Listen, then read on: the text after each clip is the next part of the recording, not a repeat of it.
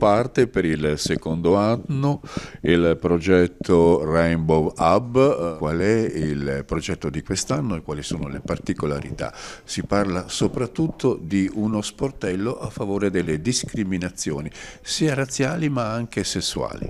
Sì, eh, lo sportello Rainbow Hub nasce come sportello antidiscriminazioni, eh, soprattutto legate al genere, quindi è uno sportello dedicato alle persone che fanno parte della comunità LGBTQIA+, che possono accedere allo sportello in caso di bisogno. Eh, possono accedere e troveranno quali servizi? Troveranno eh, un servizio di consulenza psicologica eh, gratuita e anche di eh, consulenza legale, oltre a percorsi di formazione per la cittadinanza, sempre sul tema eh, LGBT, ma anche eh, gruppi di automutuo aiuto per genitori e per, e per persone che fanno parte di questa comunità.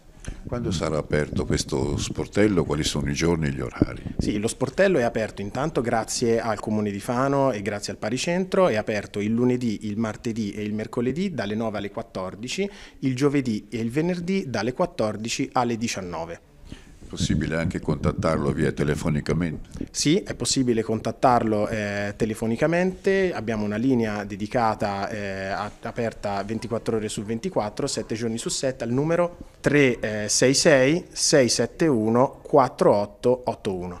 E chi risponde, insomma, chi è a disposizione delle persone che hanno bisogno di un aiuto? Ci sarà un'operatrice per l'accoglienza dedicata eh, che anche quest'anno abbiamo individuato e che risponderà ovviamente con gentilezza e accoglierà tutte le richieste eh, delle persone, le richieste che potrebbero aver bisogno.